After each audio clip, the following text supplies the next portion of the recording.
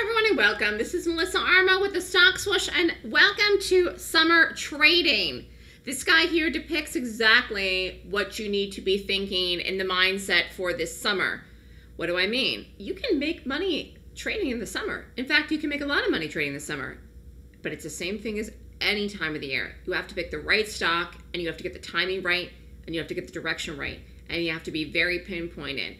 But I've been saying this pretty much for the last week, week and a half. Fast trades, fast trades, in and out.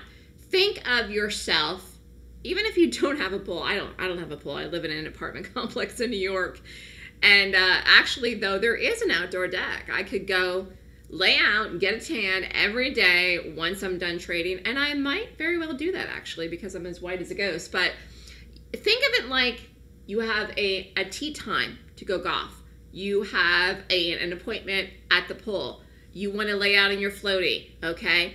Get to the point where you say, I'm going to be in and out quick.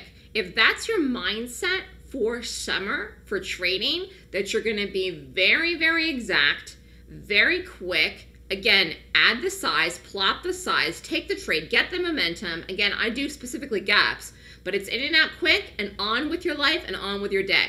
If that's your mindset for trading, that you're going to get in and out of trades quick, you're going to do well this summer. And obviously, then you trade very quickly. We're done usually by 10 o'clock. Sometimes we're done by 9:35. In fact, this week I think we were done trades even before 9:35. But it's the idea of being in and out quickly because of the fact that you want to make money and be done before there's any of the gyrations, the summer laziness in the afternoon when people take off early you don't want to get involved with that. If you want to make a lot of money this summer trading, you absolutely can, but you have to have a plan of action. So think of this pool, baby. I love this picture, by the way.